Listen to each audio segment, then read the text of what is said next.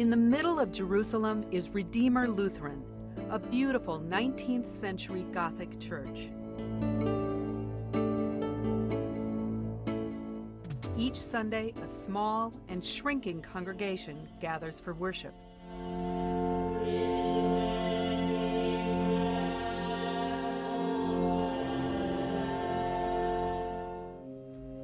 Ghassan Kasabreh is Redeemer's organist. We are Christians, we are Lutherans. Ghassan and his eight year old son Salim are at church each Sunday without the rest of their family. Rimaz, Salim's mother, is also a member of Redeemer, but she can't legally worship with her congregation and family. The whole Kasabreh family is Palestinian. All five were born and baptized in the Holy Land. The Kasabrehs are a forbidden family. Ghassan was born in Jerusalem, an Israeli citizen. Rimaz comes from the West Bank.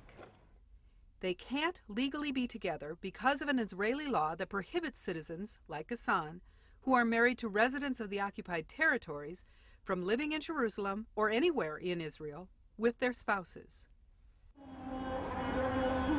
The ongoing conflict in the Holy Land is complex.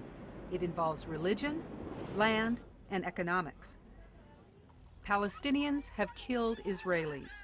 Israelis have killed Palestinians. Now, a new wall is being built. We have 23 families living behind checkpoints and the wall. It is impossible to visit them by car. I have to walk. And it takes two hours to visit just one family. For them, it's difficult just to get to church. Our members are delayed at checkpoints. They live behind the wall.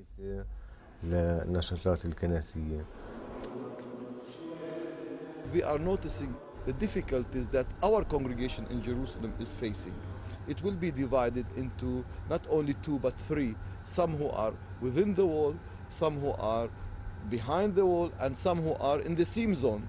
That means it's between the wall and the checkpost. Israel calls it a security fence. Palestinians say the wall is a land grab and designed to divide Palestinians from Palestinians. Well, the wall is basically, according to the state of Israel, they, they, they call it the security wall, and they're building it according to them, to separate Israel from Palestinians. But actually, what the wall is doing is separating Palestinians from Palestinians, and it's being built on Palestinian land. Palestinian state. According to the Israeli government, the security barrier is temporary. Exact drawing of the borders. No Israeli wants barriers, and no Israeli even thought about uh, erecting any kind of barrier until people started to die in Israel by suicide attacks, by terror attacks. Uh, the number of suicide attacks, for instance, just in 2002 was 60 successful suicide attacks in one year. Sometimes it was more than one a day. And people were going to work and they didn't know if they're going to return back home. The moment terrorism stops, there is no need for the barrier. The barrier will be moved.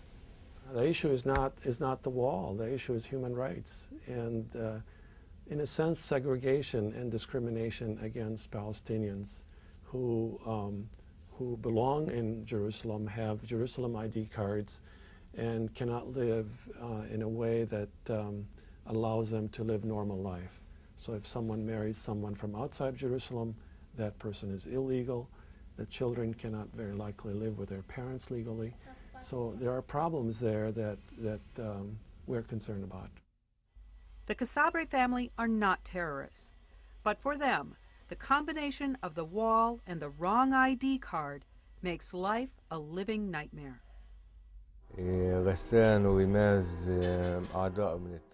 Ghassan and Rimaz are members of this congregation. Before she was married, Rimaz lived near Jenin in the West Bank so she never got a Jerusalem identity card.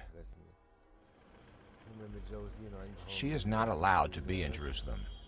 This has affected her family and church. She can't be a full-time member in the church. Rimaz used to work as a schoolteacher in Jerusalem, but to get to work, she had to risk fines, harassment, and even jail. On my way to work, there were soldiers blocking the road. So I went around the mountain to the main road to the taxi. We crossed the first checkpoint and everything was fine. At the second checkpoint, they stopped the taxi وبلشت أخاف إنه أنا ممكن إنه يمسكوني. They saw my West Bank identity card and arrested me. وتاني يعني محل ما كان فيه شرطة بعدين وقفونا ونزلت. They let me go, but I'm not allowed in Israel. بعدين يخلوني أمضي على استمارة إنه أنا I can't work in Israel. If they find me again, I won't be going to the police station. I'll go to jail. أكيد راح يسجنوني مش راح يخلوني أروح البيت. This wall is only separating Palestinians from Palestinians, especially for those living in Jerusalem. The wall is dividing the whole country into pieces.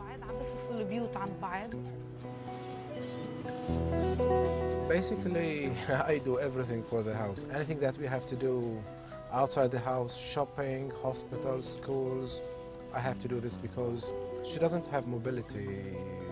She can't go out. There are over 500,000 Jews right now in Jerusalem. There are over 200,000 Muslims.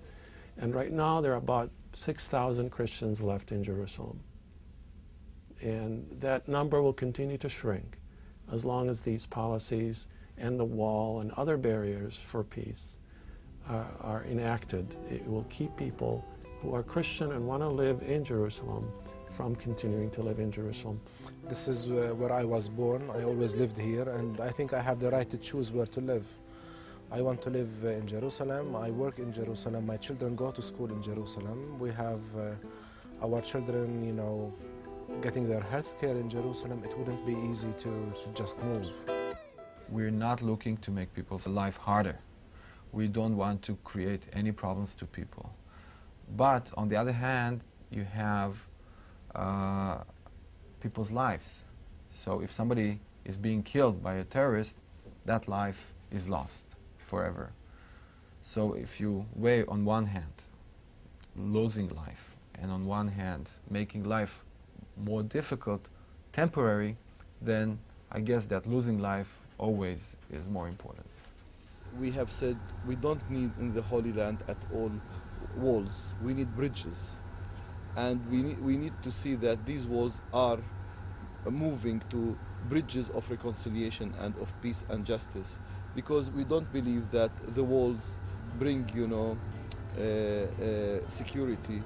Uh, on the contrary, walls only will grow uh, more bitterness, more hatred, because people feel they are isolated not only uh, from um, uh, their neighbors, the Israelis, but they are they isolated from their own people, the Palestinians, from their own land, from their own water resources, from their own agricultural fields and meadows and so on.